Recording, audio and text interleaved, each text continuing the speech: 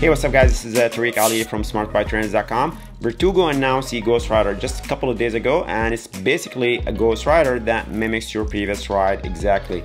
If you've ever used Virtual Partner in a Garmin device, it's basically something like that. But before we get into this feature, what is VirtuGo? By the way, if you are new here, I review smart bike trainers and discuss indoor training, cycling apps, and other fitness gadgets. So if you want to learn more about indoor training and fitness tech, make sure you click the subscribe button and the bell icon to get notified of new videos.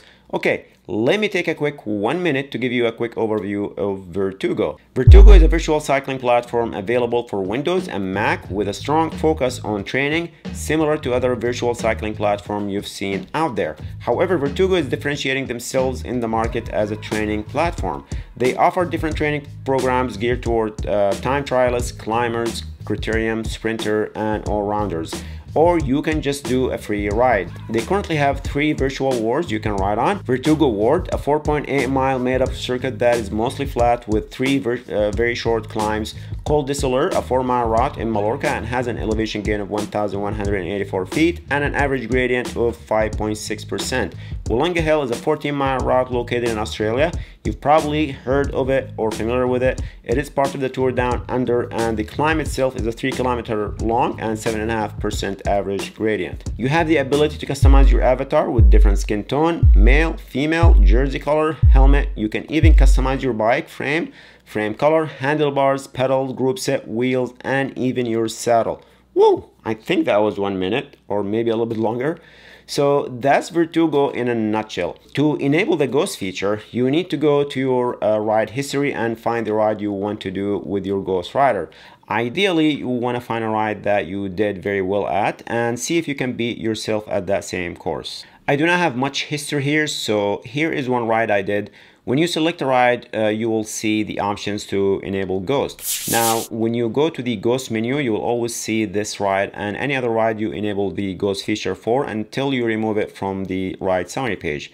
Make sure you have everything paired. You can now pair ANT Plus and Bluetooth sensors, which they did not have in the past only ANT Plus was available so it's good to see them add Bluetooth finally it's still in beta though so use it at your own risk once you start the ride you will see your ghost in front of you and you can start riding here it looks like I started ahead of my ghost so I'm just going to slow down and wait for myself so in the top menu, you can see your ghost ride information, watts per kilogram, RPM, and how many meters your ghost is ahead or behind you. What your ghost is doing here mimics exactly what you did at the time you did that ride. This is pretty nice to see and they plan on adding the ability to ride other riders, ghosts, and even pro riders. It's actually there in the menu but it's grayed out right now. That's going to be a good reality check once you add the pro riders.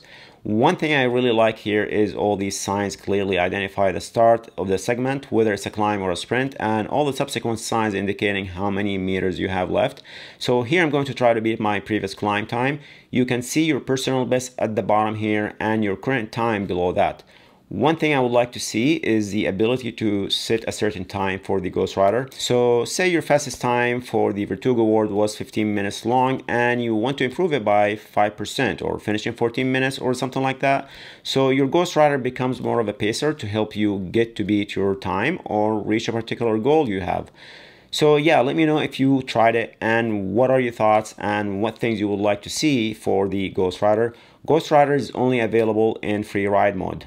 The other feature I want to talk about here is the coach feature.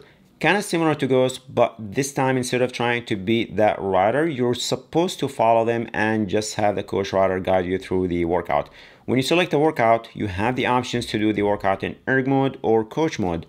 With coach mode, erg mode will be disabled and the trainer will be set to sim mode, meaning you will feel the resistance change based on the terrain and you have to adjust the gear to reach your target watts. You will see a coach right in front of you and the workout instruction on the screen. You will see the number of watts the coach is doing and that's basically your target watts and what you're supposed to be doing. You can get dropped by your coach if you're not doing well and you will be left all alone or you can do what I did here and drop your coach.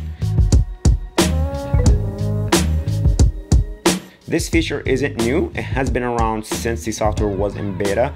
I only did one ride with a coach, but I see how it can be fun and engaging. Okay, give them a try and let me know what you think. They have a free 10-day trial available and it costs around six and a half, seven dollar per month, depends on the currency conversion.